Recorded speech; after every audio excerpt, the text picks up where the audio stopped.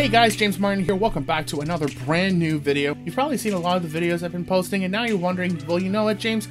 I really want to make a movie, but I have no idea how to start making a movie. Where do you begin? How do you start? What questions should you be asking? What's the first thing you even do when you decide to make a movie? Right now in this video, I'm going through all the little basics to help you figure out how to make your movie from start to finish with absolutely no experience and perhaps you have very little money and resources to work with. And we're going to go through this entire process together. The list I'm just about to go through can apply to any project, any budget, any size. The first thing you need to focus on is you absolutely need a script. And I know this sounds obvious, but it becomes very tempting that you have a very incomplete script and therefore you get going on your movie. I've made this mistake so many times. Don't do this because what's going to happen is as you're writing your script, you're inevitably going to make some changes, and that change will affect how you make your movie, right? You may want, you might have already finished your casting, and then you decide, oh, you know what, I want to add another character, right? Or you give your cast a script, and then you decide to change it on them. That's not a great way to go about it. You want to have a very solid script and a solid plan right from the get go. I mean, you're already going to be under enough stress trying to make the movie. The last thing you want to worry about is making the movie and writing it at the same time. Just take one simple step at a time, take your time, be patient, get your script done and complete so then you can move on to the next step, which is actually making your movie. Once you have a script, the next thing you gotta start thinking about is schedule and budget. Now, I do have a video out that talks about scheduling. I have that in the cards and the description down below. But basically, you're gonna figure out what your end goal is. When do you want your premiere? Is this for a film festival? What is the deadline for your movie? And then you're gonna work backwards. So maybe you wanna plan on getting this movie done, I don't know, six months from now, 12 months from now, whichever. Figure out what that date is. That's the final date no exceptions. You hand in the movie or you get the movie done to wherever it needs to get done and work backwards from there. So you start figuring out, all right, so if we shoot by then, then the movie should be completed maybe the day before, maybe a couple days before, just to be safe. So then we got to start editing by this date. We got to start shooting by this date, and then we can start pre-production by this date and get all the individual things down together. So plan as far in advance as you can and start figuring out when everything's going to start taking place. When you start budgeting, this is also important. You got to solidify a plan as to how much money you have, how much is that going to go towards your movie. And again, I've made the same mistake before. What you don't want to do is just kind of guess, like, okay, well, I happen to have like 500 bucks in my account, so I'll just spend all that, or just we'll go about it. We'll see how it is. If I need more money, maybe I'll ask my parents, maybe I'll ask a friend, maybe I'll ask a relative for birthday money doesn't matter. No, don't do that. Solidify a plan. So let's say your your budget is okay. I'm going to spend five hundred dollars, no more, no less. Spend five hundred dollars. Chances are this is going to become your own personal money, unless you do, let's say, a crowd fund like Kickstarter, for instance. But whatever that number is, stick to it like glue. The worst thing you can do is overspend your money. So figure out what that number is, stick to it, and be organized when you budget out your project. And if you need help budgeting your movie, guess what? I have a video on that too, up in the cards and the description down below. The next step you want to think about is your crew and your cast. Who do you want to bring on? Do you want to do this alone? If you do want to bring on people, who should you get? Now, if you do want to do this completely by yourself, you'd be the only crew and cast, that's fine, but I'm just letting you know you're going to be so stressed out. It's not even funny how stressed out, and it's going to knock all the fun out of the filmmaking. Now, that being said, if you are going to shoot the movie by yourself, I would highly, highly recommend you do not become super ambitious. Make the shoot as simple as possible. Maybe it's one or two different locations, maybe a couple scenes, maybe a few pages. I would still recommend bring on some actors if you can. Find people who enjoy acting, whether it's your friends, family, or if you can bring people from your community, keep it as simple as humanly possible. And you can still shoot a movie, but just keep it really, really simple. Otherwise, if you get too ambitious, it will cause you a lot of stress and a lot of problems. I mean, when we did Finding the Light of Natha, I deliberately made a choice that I was going to do a majority of the work from shooting to logistics the art to a lot of different things, even to post production. I would still highly recommend see if you can find friends or family who can take care of some of the smaller tasks. Like maybe you don't bring food, but maybe someone is willing to bring food for you. Or if you buy the groceries, someone might be able to bring the groceries for you or make a meal for lunch or dinner or whichever. Um, I would recommend that you pay for the groceries, but that's completely up to you. See if someone could help you out with driving. See if someone could help you move stuff, you know, and be patient, be very nice about it, ask politely, and just see if someone can at least relieve you of the small tasks you can take care of the big important stuff. Let's say you want to bring on a crew, but you don't know any actual filmmakers and crew people that you can bring on. My biggest advice, don't think so much about the positions, think about the tasks at hand. So for instance, maybe you're like, oh, but I don't know who a sound recordist, which is the person that actually records all the audio on set. Well, that's fine. Think about the task. Is someone, could someone hold a microphone or recorder close enough to just record the audio? Simple as that. Some, can someone be listening to the audio to make sure that everything sounds clean? I'm willing to bet that you probably know at least one person that could do a job like that. Right? Or same with maybe you have a friend who's not what you would call a cinematographer or a director of photography, but maybe they enjoy taking pictures and they take pretty good pictures. Let them handle the camera work because they have at least an idea of what of what they're doing. Maybe you know a friend who enjoys doing makeup. Bring them on to do makeup. They don't necessarily have to be what you call a makeup artist, but if they know how to make your actors look pretty, bring them on. If they know how to help with hair and uh, wigs or something like that, bring them on board. Right? Again, think about okay, what tasks need to get done, and then find people who have talents and skills specifically for that task. Don't so much worry about the position. That can come later because there are going to be some people who are good at dealing with very specific jobs and very specific tasks and positions. Same with do you know friends who love acting, whether it's theater or movies, whichever? Bring them on board and cast them. Okay? You can I bet that you do have people in your friends and family who are good at certain jobs that can help you with these kind of things. It's about the people that you have available already to you and then strategically finding who fits what job. That being said, if you can bring on professionals, if you can bring on people who have been on other sets, other filmmakers who do know what they're doing and have done that specific job many, many times, do so. Now, when you're casting your cast, my biggest advice, again, because you're working on this most likely by yourself or with a very small crew, and this is going to be one of your very first experiences, keep it as simple as possible. That's really the best advice I can give you. So maybe have one or two actors maximum, you know, just find the people that you know, decide who you want them to play, you know, what characters are they going to portray, and then give them the script and then let them do their thing. It's not really a complicated setup, find some people you want to bring on. Next, look at the equipment that you have available. I often say that I think a lot of people sort of underestimate what they actually have available to them. I mean, listen, if you have a phone, you already have a camera. Simple as that. And your phones record audio too. If at the very bare minimal, this is what you have as your equipment, use it. It's not going to hurt you. You know, if you have a secondary phone available, have this phone record the camera, and then have your secondary phone record the audio. Just put on the voice memo and have someone hold it up as close as possible so that you get the best quality audio possible. Do you have lamps? Well, lamps are meant to give off light. You don't have to use the lights like I'm using right now, just use that. They give off light, so use that. And that being said, if you have anything else that's better, use that too.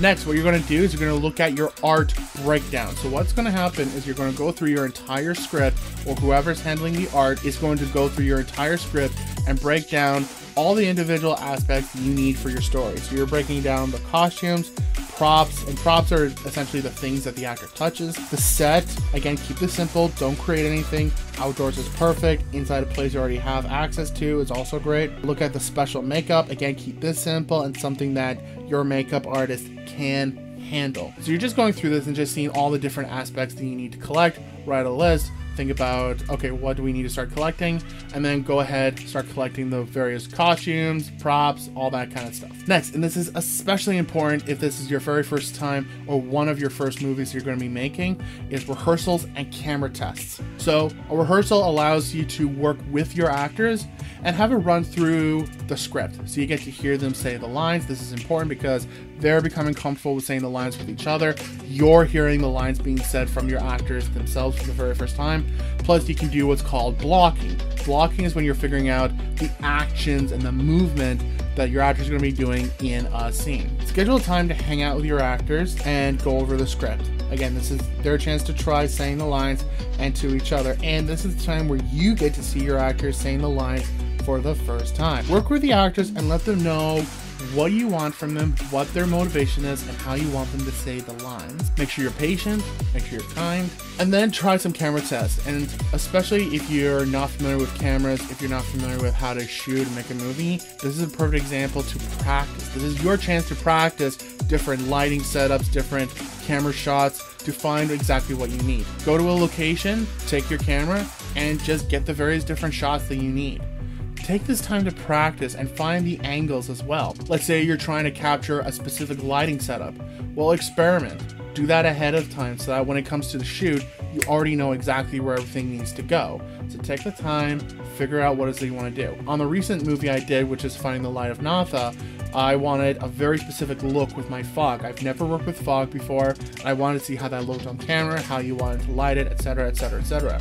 And so when it came to the day of, I knew exactly what I was doing, and we were able to bang out shots, and I was super, super thrilled with how the shots looked like overall. But it's because I did that as a camera test, but I also knew ahead of time what that look was going to be and how long it was going to take for the fog to fill in the room, and more importantly, how long it was going to take for the fog to disappear. So the more you can practice, the more prepared you'll be. And trust me, when we did Finding the Light of Natha, we did plenty of rehearsals everyone, we did at least two rehearsals with all the actors. One was offline, one was online. And then my two lead characters, I did a bunch of rehearsals with just them just to make sure that they were really comfortable with their lines. Now, while everyone is memorizing their lines, getting the equipment, practicing, getting props, all that fun stuff, now you need to start planning out the shoot and start getting some paperwork done. So this paperwork is stuff that you got to get done as far in advance as possible. Do not do this the night before. I'll be very angry. So, what kind of paperwork are we talking about?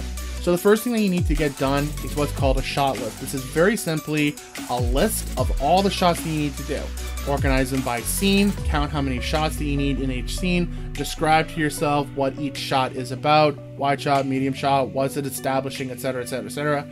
Again, keep this as simple as possible. Just do a small handful of shots if need be. If anything, I would suggest the most important thing that you need is your wide or your main coverage, and then maybe a couple shots of each of your actors. That's it. The more shots that you do, the more complicated it gets. And to be honest, the more shots you do, the less likely you are to get everything. And you really do need to focus on the most important down to the least, especially getting that main coverage. You can get inserts and all kinds of stuff later on. Next, you need to figure out a schedule or an agenda. This is when you're going to figure out what is happening and when on the day of the shoot whether it's a whole day, two days, whichever. I hope it's no more than two days. Figuring out when you're going to start shooting, when you're going to start setting up, when you're shooting scene one or scene two and three and five, and doing a lunch and doing dinner and whichever. Again, you plan that out so at least you know by the time you're about to shoot. And finally, what I would suggest you do is create a list of absolutely everything you need for your shoot. Be as be as super detailed as you can imagine.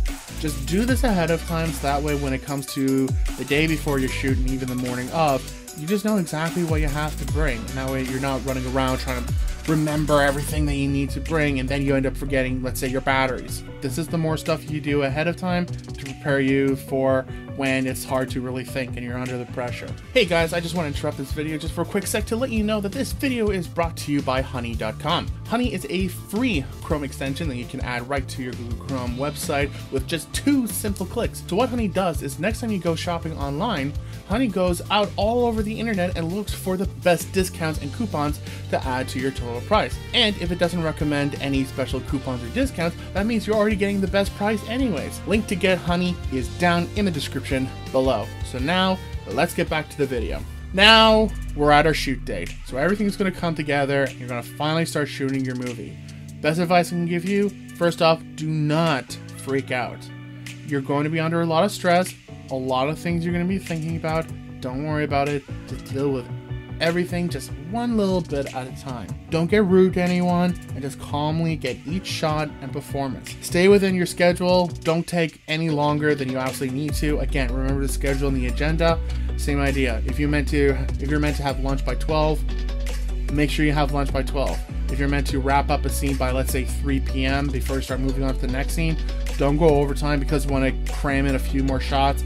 Finish by 3 and then move on. Because when you start backing up a few scenes, you're going to start backing up the entire day. Finally, and I just want to set your expectations here not to scare you, but you will make mistakes. It's going to happen. And that's fine. Don't worry about it. You're learning. That's the big thing. So yeah, maybe you may not get a performance the way you like it, or maybe a shot doesn't turn out the way you like it, or maybe you run out of time. That's fine. Don't panic, don't freak out. Mistakes happen to everyone, like literally everyone. That's because you're learning, and every experience is new. That's the fun thing about movies, right? It's not is that not every project is the same. So if something happens, just deal with it the best you can. And again, the more calm and the more nicely you handle everything, the more likely that A, everything will go much smoother than you expected, and two, everyone's going to be more willing to help you in the end. Alright, now we're off to editing, and this is where you're to start putting all your shots and stuff like that together. So the very first thing I would say to you is back up everything. And I would say back up not just to one place, back it up to at least two different locations. So what does that mean? You want to have at least two copies of everything. Your videos, your audio files, everything, including posters, your project files, documents, pictures, everything. Have at least two copies on two different hard drives. And this could mean either your computer and an external hard drive, or my advice, get two external hard drives and back them up to both of them. Because this creates sort of redundancies, right? Where let's say you have a hard drive that malfunctions, then you have another one as a backup because the likely of your two hard drives or both your computer and a hard drive breaking and an issue happening at the same time is very slim. Heck, I would even go further and say get a third backup, right? So maybe your computer and two external hard drives. It could be a computer, a laptop, and an external hard drive. Because what you don't want to do is back up everything. That's all your hard work, the entire shoot, back it up to one place, and then it malfunctions or the computer stops working. Don't do that to yourself. Be smart. Create different backups. Do not back everything up online either. That doesn't count because something could happen online as well. Back it up to other hard drives and keep those hard drives safe. Do not break them. Next, use software that's free.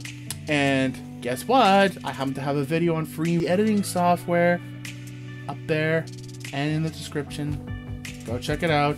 There is free editing software out there. Now, if you want to pay for something, by all means, go do that. But if you want to save money, then this is where I recommend, and especially if you're just editing for the first time. Use music from a website where you can legally get music, all right? I don't want you to steal anything, all right? And if you want to know more free sites where you can get music for your movie, again, link in the cards and the description down below. I have you all prepared. And basically just find any free softwares you can use to help you make your movie. I wouldn't recommend buying anything save that for another time when you know you're going to make money from your movies. Right now, you're just trying to make one of your first few movies and just get that out there. Use a Microsoft software to make your poster, use Pages, or use an Apple software to make your music or to create your documents. Another way you can make your music or even do your sound effects is I've often said take the microphone on your phone and either make the sound effects yourself with your mouth or with other objects, or maybe you play music yourself, whether it's guitar, piano, you sing, make your own music. Have fun. I'm actually doing that right now with Finding the Light of Natha. I'm actually writing the score and recording the music. I mean, I do a lot of music, that's what I'm comfortable doing. I want to experiment and try this for the first time. You could do this too. Why not? And it's free because you're the one that's doing it. And you can see if you like it. If you don't like it, then fine. Next time you make a movie, see if someone else can make your music or see if you can get music online. By this time, your movie is done. It's all edited, you have the sound effects, the music, color, whichever you want to do. It's all neat and what's called in the can. So now what? Well, the first thing I do is showcase that stuff. You have all sorts of family and friends who supported this project. Some of them even got involved, and everyone wants to see this movie. Present it, do a premiere, whether it's online or offline. You know, you could do all kinds of different things. I've seen kids do in person premieres, I've seen all sorts of people do stuff online. But remember, you and the rest of your team, you guys worked hard making this movie. Show it. Have fun. This is your time to get back and enjoy what you just made. Put it on DVD. Give copies to the people who are involved in your project. Give it to other people who supported you. Upload it online. Share it to the world. Put it on YouTube or Instagram or Facebook. Show it to everyone. And also, finally, make sure you have a link to your movie. Post it in the comments so that I can watch your movie as well. And there you have it. That's how you essentially make a movie from start all the way to finish, and especially if you've made absolutely nothing beforehand and this is one of your very first times making a movie. So, I hope it helped you out, and if it did, please smash that like button for the YouTube algorithm and subscribe because I got so many great videos coming out every single week that can also really help you improve your filmmaking game. All right. Make sure you comment down below any questions that you have before you go on and shoot a movie, anything you're not sure about. And again, send me your movies, or whether it's on Instagram or Facebook, send me links to your movie so that I can check it out and even let you know my own thoughts, okay? Good luck with your shoot have fun. I mean, making a movie is tons of fun. That's why I do it, right? So, good luck with your project. I'll see you next time.